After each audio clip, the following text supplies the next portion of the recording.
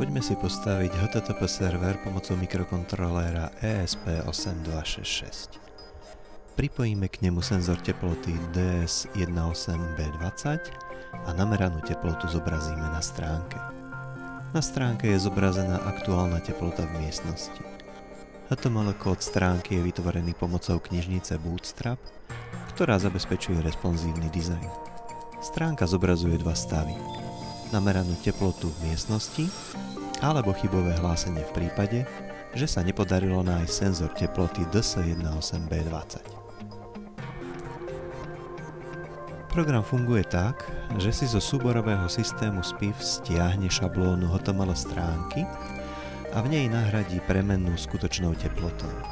Potom výslednú stránku odošle do prehliadača. To je jeden možný spôsob, ako sa dá vytvoriť výsledná stránka v prehliadači.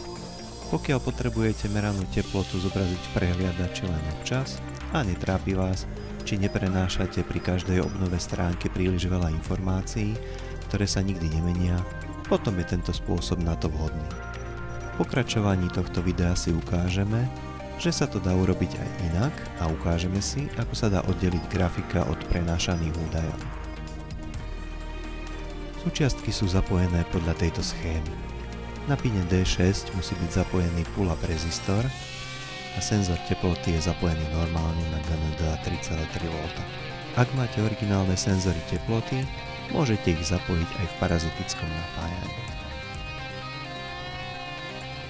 Tento príklad bude fungovať iba vtedy, ak si zdrojový kód stiahnete z GitHub a obsah adresára data prenesiete do SPIFS pomocou príkazu tools ESP8266 sketch data upload.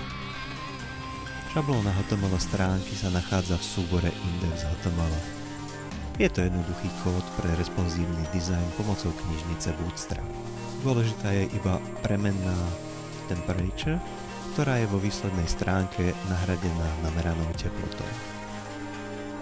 Pretože výsledkom programu je jediná stránka, programe ju vytvára funkcia handle root. Táto stránka je ale v skutočnosti zložená z dvoch častí. Jednou je samotný vygenerovaný HTML kód. Druhou je malá ikona, ktorá sa zobrazuje na záložke v prehliadači. Ikona je malý panel súbor favicon, na ktorý je odkaz v zdrojovom kóde HTML stránky. Prehliadač si tento obrázok vyžiada a pretože pri ňom nemusíme robiť žiadne úpravy, môžeme ho staticky poskytnúť priamo zo SPIFS. Funkcia handleRoot najprv overí, či máme v SPIFS uložený súbor index.html. Potom si obsah súboru uloží do premennej body. Nasleduje meranie teploty, ktoré môže mať dva výsledky.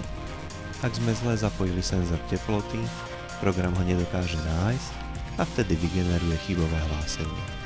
Ak senzor teploty existuje, vygeneruje sa textový reťazec s teplotou. Výsledok sa nahradí v šablóne HTML stránky namiesto reťazca temperature.